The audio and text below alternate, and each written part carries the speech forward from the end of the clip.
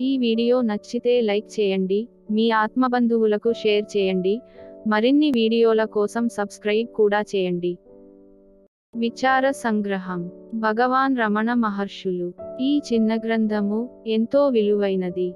ఎందువలన అంటే పంతొమ్మిది వందల ఒకటి నుండి పంతొమ్మిది వందల రెండు సంవత్సరంలో భగవాన్ రమణ మహర్షి మౌనవ్రతంలో ఉంటున్నప్పుడు వారి పాదాలను ఆశ్రయించుకుని ఉన్న బ్రాహ్మణ పరమ భక్తాగ్రేసరుడు అయిన గంభీరం శేషయ్య గారికి ఆ కాలంలో వారు అడిగిన సందేహాలకు రమణులు వ్రాతపూర్వకంగా అనుగ్రహించిన వేదాంతసారం ఇందులో పొందుపరచబడినది.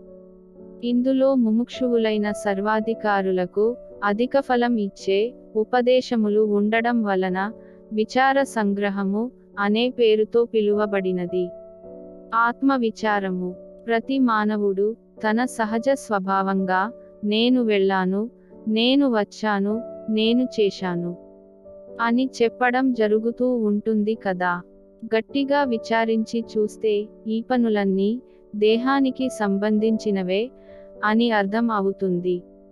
అంటే ఏమిటి? దేహానినే నేనుగా భావిస్తూ చెప్పడం జరుగుతున్నదన్నమాట. అయితే విచారణ చేసేవారికి ఇక్కడ ఒక సందేహం రావాలి.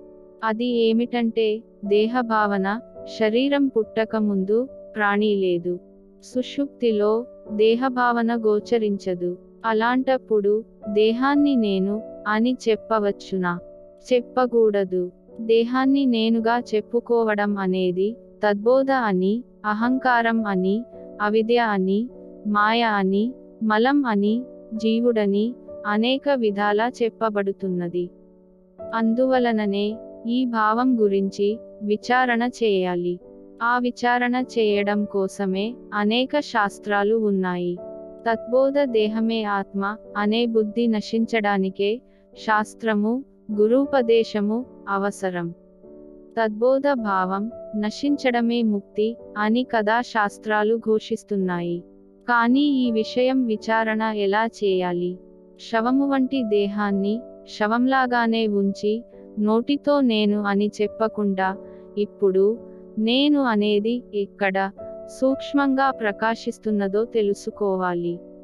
అలా తెలుసుకున్న శరీరము కాని నేనును విడిచిపెట్టకుండా అహంకార రూప దేహమే నేను అనే ఆలోచనను అగ్నిలో వెలుగుతున్న కర్పూరంలాగా నశింపజేసుకుని శాంతిని పొందాలి.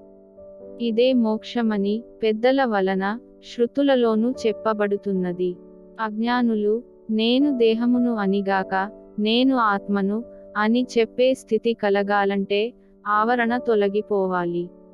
తాను ఆత్మగానే ఉన్నాడు.